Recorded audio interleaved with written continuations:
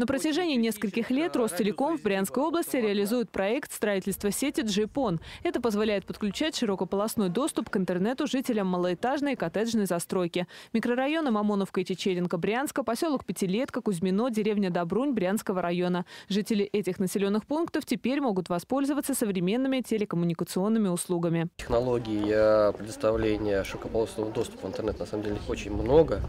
Э, в данном случае GPON – это оптическая сеть, которая позволяет, э, пассивная оптическая сеть, которая позволяет прийти к абоненту э, оптоволокном в дом. Пассивные оптоволоконные сети заводятся прямо в дом абонента. Активное оборудование исключается. Это повышает степень надежности и качества соединения. Технология GPON обеспечивает интернет на скорости до 1 гигабита в секунду. Одним из клиентов Ростелекома оказался основатель российского видеохостинга «Рутуб» Михаил Паулкин. Во-первых, это скорости. И скорости гарантированные, работает все достаточно быстро. С учетом того, что мне там подрастает два ребенка, два сына, они любят поиграть в игры, параллельно, соответственно, я могу просмотреть там, не знаю, сериал, посмотреть свои любимые, поработать, пообщаться, и этой скорости вполне хватает. На мобильном интернете это было невозможно. На базе сети GPON компания Ростелеком предоставляет все услуги Triple Play через один кабель. Кроме того, перед пользователями открываются новые возможности.